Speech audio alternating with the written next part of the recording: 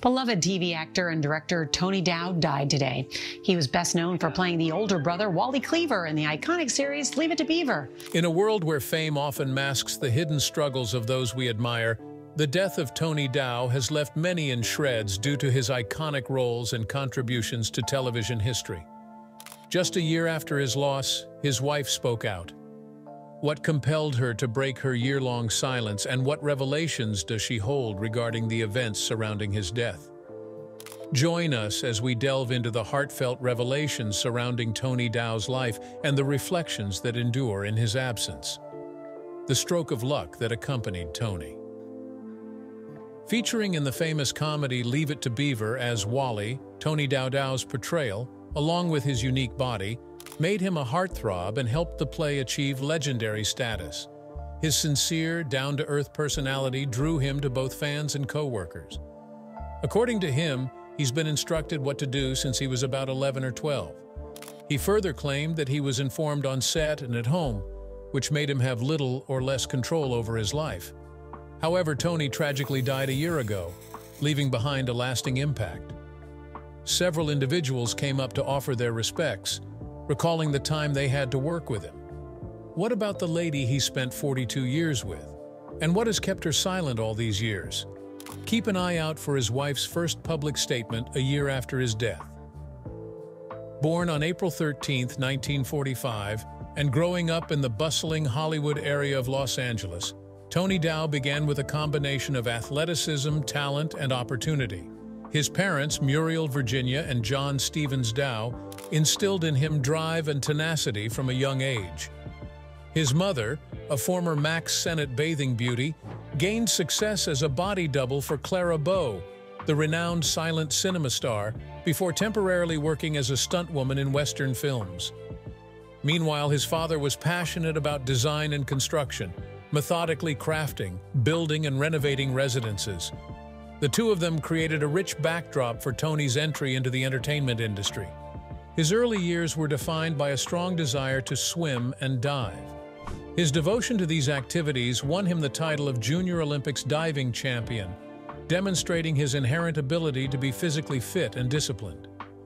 Dow's early years were not dominated by thoughts of celebrity, as is common in Hollywood.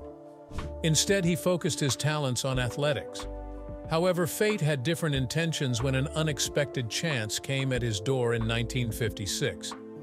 At the age of 11, he was forced into the world of auditions, spurred by a lifeguard with his own goals.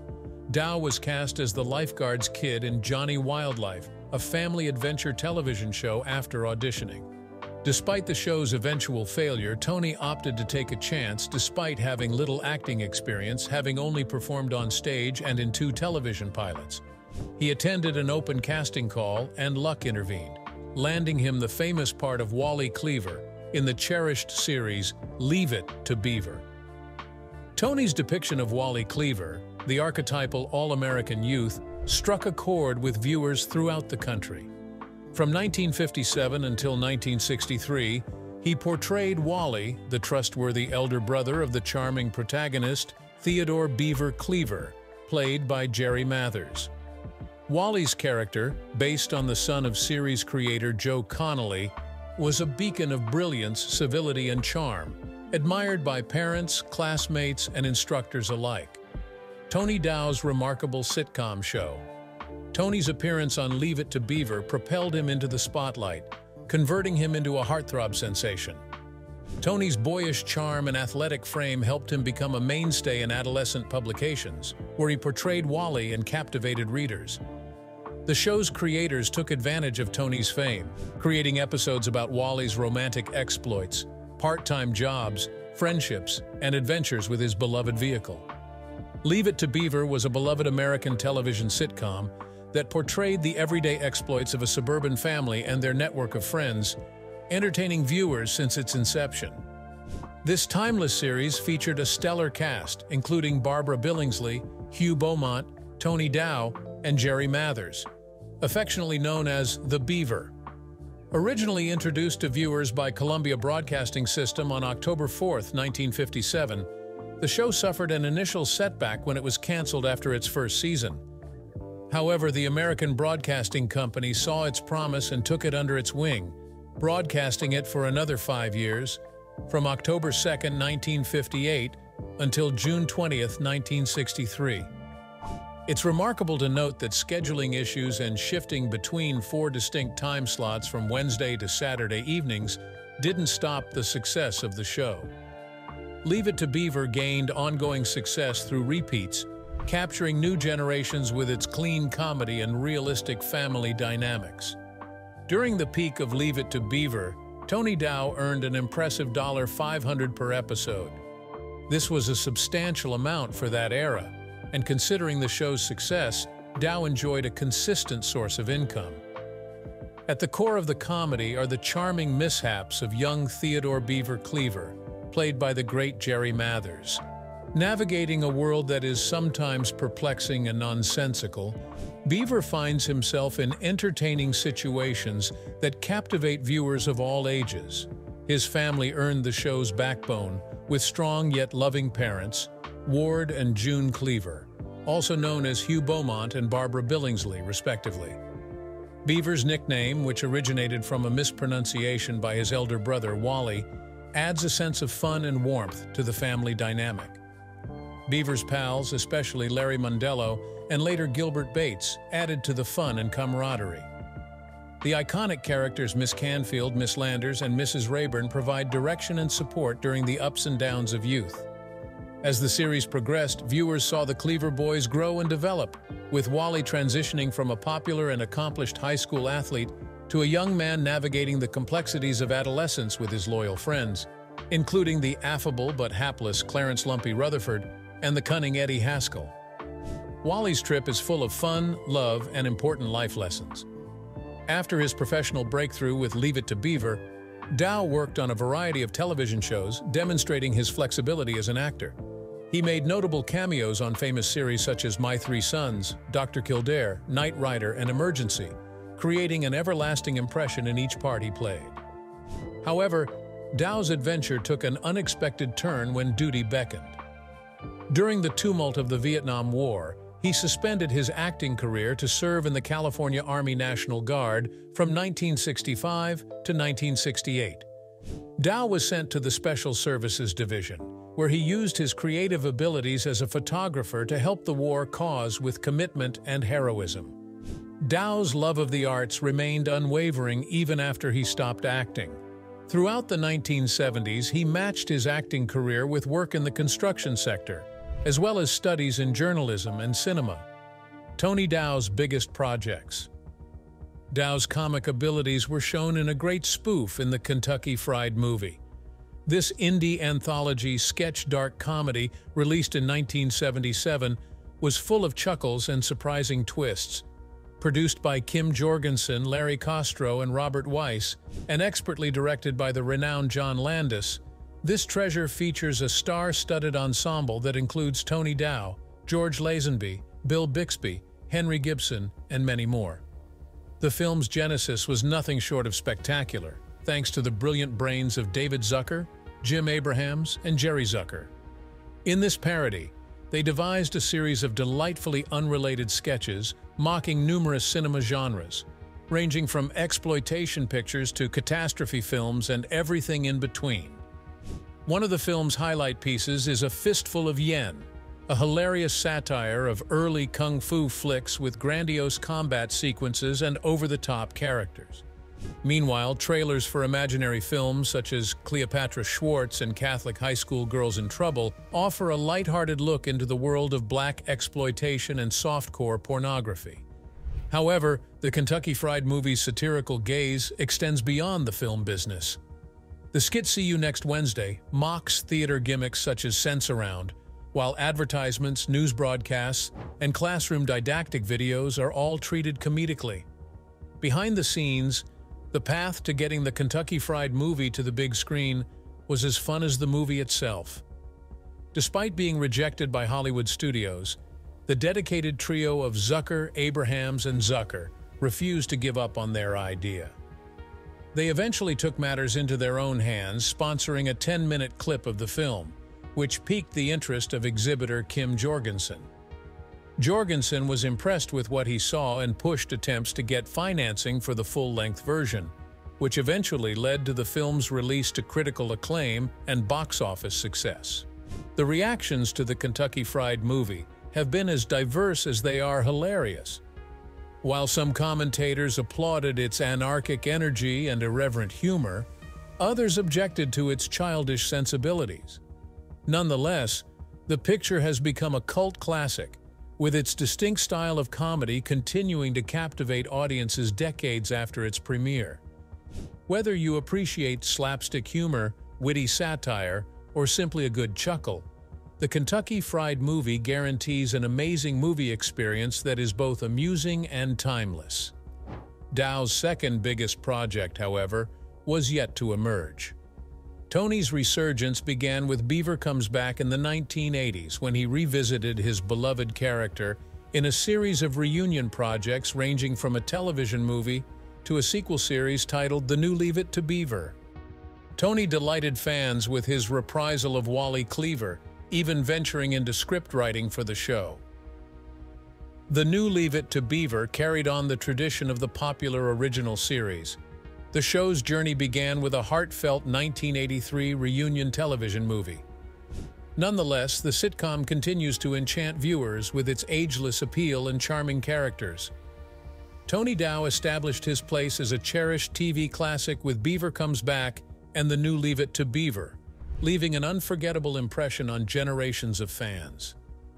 Beaver, which aired to acclaim on the Columbia Broadcasting System in March 1983, paved the way for a reunion, which led to a full-fledged revival series.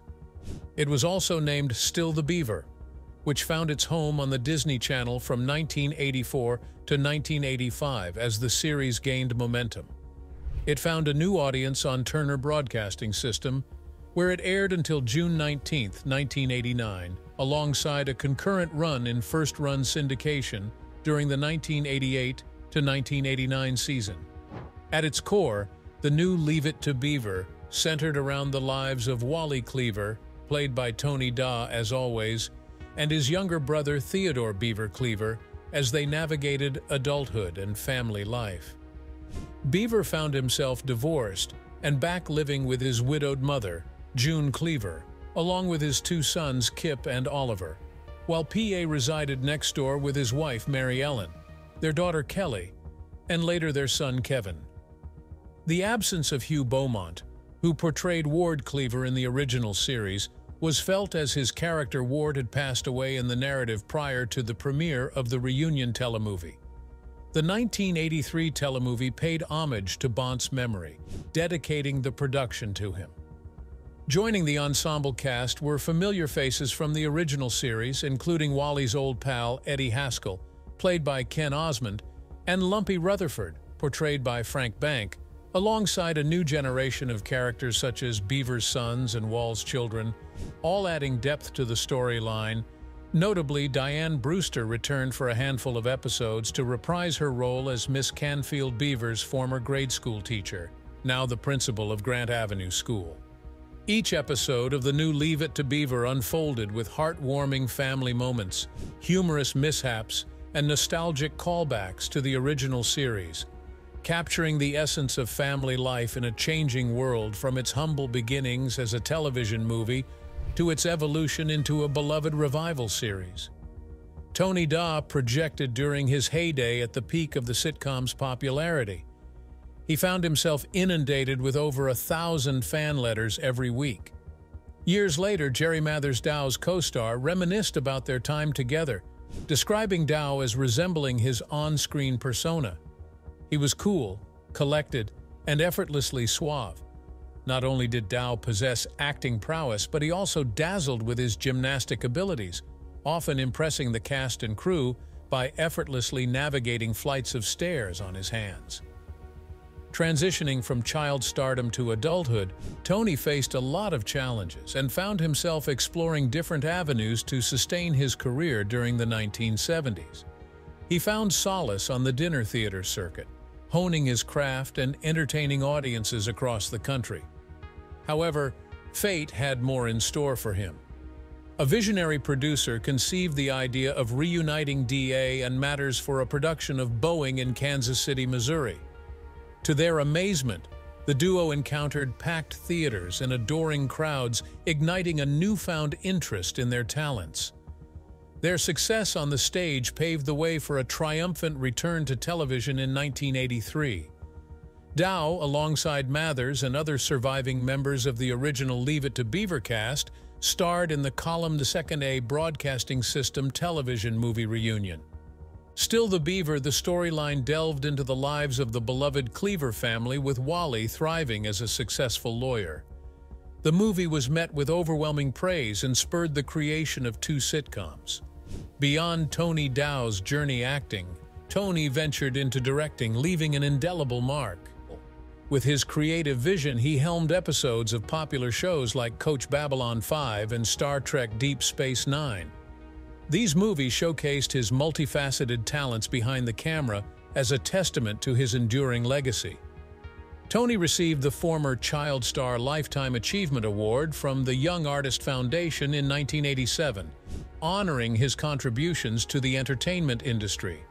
Additionally, he co-produced notable projects like The Adventures of Captain Zoom in Outer Space, which came from Outer Space 2, further solidifying his imprint on the cinematic landscape. Tony Dow's journey from a budding athlete in Hollywood to a revered actor, director, and producer exemplifies the power of passion, perseverance, and talent in shaping a remarkable career in entertainment. In his struggle with mental health in his 20s, he embarked on a journey that led him down a path of introspection, because that's when he began to struggle with clinical depression.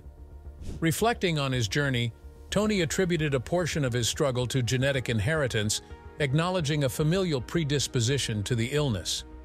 However, he also acknowledged the influence of his role in Leave It to Beaver, suggesting that the show's success contributed to a set of expectations that proved challenging to reconcile with reality. Venturing back into acting served as a double-edged sword, making his inner turmoil much worse.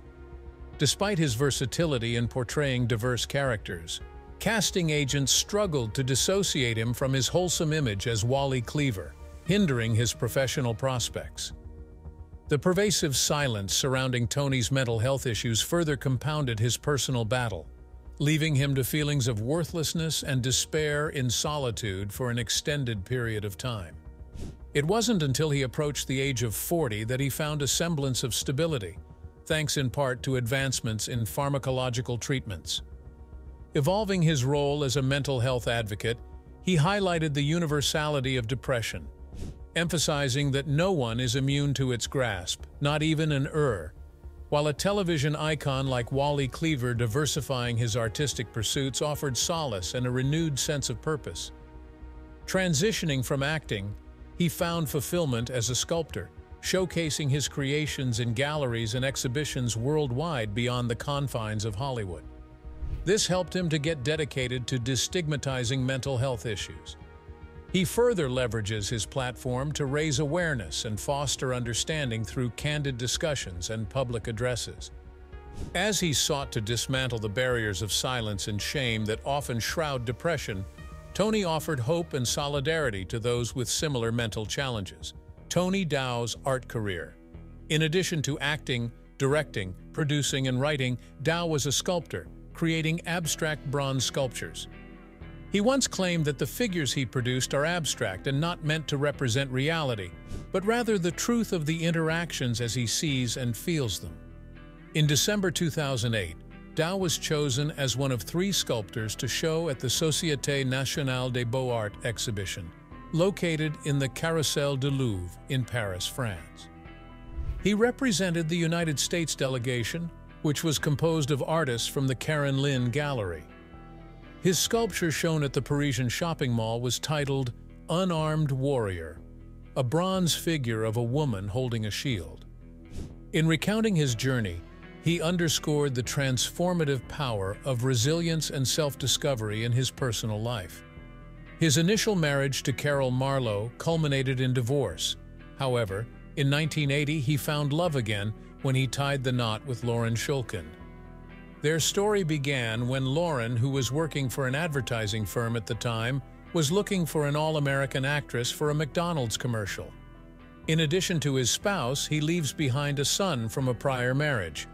Reflecting on his legendary depiction of Wally Mathers, Christopher, together with his brother and beloved granddaughter, said that Dow's personality penetrated the character.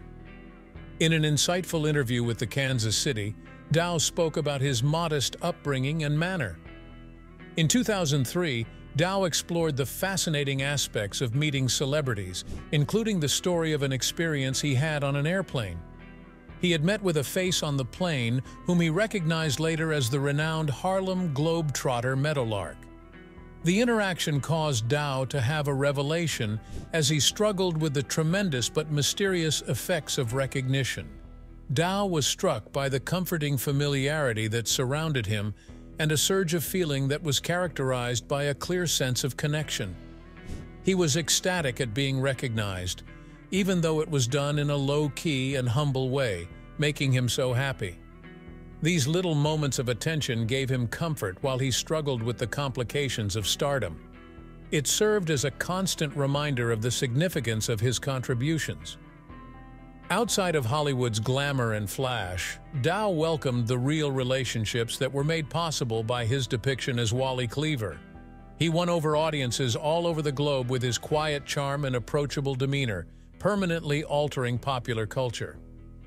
On July 27, 2022, Tony Dow died at his Topanga, California home when he passed away. He died at 77 years old. His manager, Frank Batt, verified that complications from liver cancer were the cause of death. This was later reported by Tony's management staff one day earlier. Frank Bala and Renee James, who oversaw the 77-year-old actor's management, claimed that an update on his social media site exposed a serious miscommunication about his health. Lauren Shulkin, the actor's wife, was acclaimed to have informed them of her husband's passing under the false impression that he had died. The statement also said that Tony's daughter-in-law, Melissa, and son, Christopher, were by his side and would be sending updates on his health. Few hours later, Christopher released a statement about Tony, who was receiving hospital care and was at the brink of his life. It's interesting to note that the actor's social media platforms had deleted the early Facebook statement on his purported death. According to the hospital, after spending almost a full day in the emergency department, Tony was admitted to the hospital with pneumonia. He was later discharged when his COVID-19 test result was negative. The 77-year-old actor received around five coronavirus tests throughout this journey before being admitted to the emergency department. His wife Lauren clarified the difficult situation during a chat, pointing out that the increase of the Delta version had made the hospital bed scarcity worse. She also thanked everyone for their expression of concern. According to Lauren, Tony's health was improving. Surprisingly, despite Tony's pneumonia, the doctors thought he would be discharged in a week. This was because he was suffering from a strong cough that was making his head hurt. He described the therapy procedure and, astonishingly, did not have a temperature throughout the experience. Lauren pointed out how many IVs were used and marveled at the body's capacity to survive on intravenous fluids alone. Despite the physical difficulties, Lauren bemoaned the toll the treatment had on Tony's arms, which were left scarred and abused. Tony's regular walks around the halls with his nurse helped him to stay optimistic, but the coughing fit never went away, indicating that time and patience would be needed for recovery.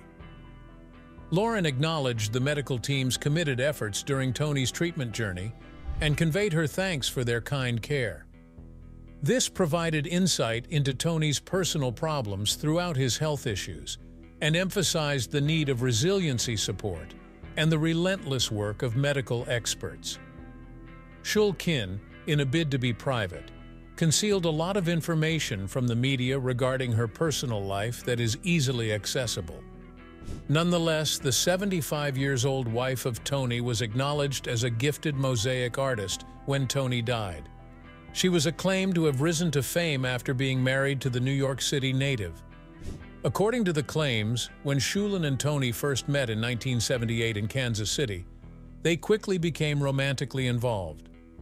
They courted for three years before getting married in 1980, which was the start of their 42-year marriage. Together, they welcomed one son. Unverified reports from May 2022 said that Dow and Shulkin were shocked to hear of his cancer diagnosis, even though they did not specify the exact kind of disease. The pair were obviously shocked to learn of the actor's passing on July 26 when he posted a health update on Facebook. According to reporter George Pennacchio, Christopher voiced his anxiety about the misunderstanding and his father's declining health. Lauren conveyed her extreme grief and sadness at the misunderstanding regarding Tony's health issues. She claimed that Tony had been getting hospice care at their house in the months before his death. This shows that when Lauren assumed Tony was about to die because of certain health difficulties, it was definitely a miscommunication. In her chat with Pinaco, this misconception swiftly spread among her close friends overnight. Given that Tony's death had been extensively published throughout the globe, Lauren acknowledged that she felt stupid about the situation. She then accepted responsibility for the misunderstanding and put it down to what she did. In the wake of Tony's death, the official statement thanked the fans for their love and support, citing one fan's feeling that Tony was loved by everybody. The family asked for privacy after the news as they processed their loss in the weeks before. The pair had conveyed their deep sorrow for the difficult circumstances and thanked everyone in advance for their well wishes. This unanticipated development emphasizes how difficult it may be to manage health issues and the significant effects they can have on loved ones. In a moving remembrance to his old buddy Dow, Jerry Mathers reflected on his common experiences with Tony both on and off screen. He expressed his profound sadness on Facebook after learning of his demise. He further spoke about Tony Dow as a beloved traveling companion in life as well as a television brother. Jerry also claimed that the sudden death of Tony grieved the media as they pondered on his unending generosity, which has left an irreplaceable emptiness in his heart. Their age-long relationship, which lasted more than 60 years, was characterized by treasured memories and common experiences. While the world was in mourning, Mathers and his wife Teresa sent their deepest sympathies to Tony's wife Lauren, his family, and everyone he impacted. The demise of a bright star was felt across the planet. Mathers took comfort in the thought that the skies had attracted yet another devotee. Another sad chapter in the history of the program was closed with the deaths of Bont in 1982 and Billingsley in 2010. In 2020, Ken Osmond, who played Wall's naughty best buddy Eddie Haskell, passed away, adding to the feeling of loss and joined Mathers in remembering Tony. The late actor Brian Wilson, a legend from the late 1960s, sent a heartfelt photo of himself along with his sympathies. Legend Jerry Lawler, speaking on behalf of the wrestling world, and many others honored Dow by considering his significant achievements and enduring legacy. Thanks for watching. Make sure to subscribe to our channel and check out another of our interesting videos before you leave.